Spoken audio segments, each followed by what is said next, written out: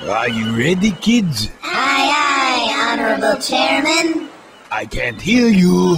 Aye, aye. Oh, who lives in a takeout box on the seafloor? Banjo Bob the Pants. Who loves his brainwashing and always wants more? Banjo Bob the Pants. Strong Chinese army, something you wish. Banjo Bob the Swale Pants. Then stop asking questions and get back to work.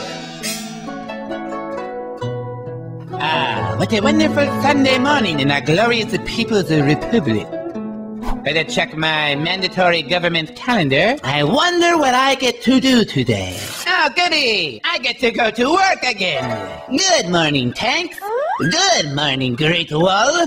Good morning, more tanks. Greetings, Patrick.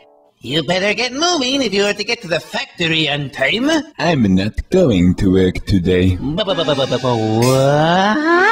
I have decided to take the day off.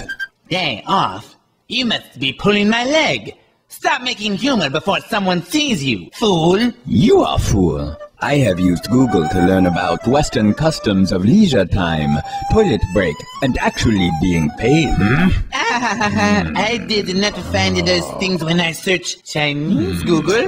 Use your head. Only through soul-crushing labor can we provide the West with affordable products like Nike shoes, electronic dartboard, dirt bike, sock puppet, railroads, rubber dog poop, Gap clothing, leather handbags, computer chips, American flags, baseballs, and everything at Walmart!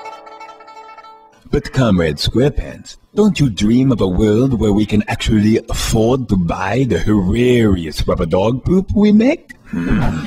Oh no! And now you're having dreams too?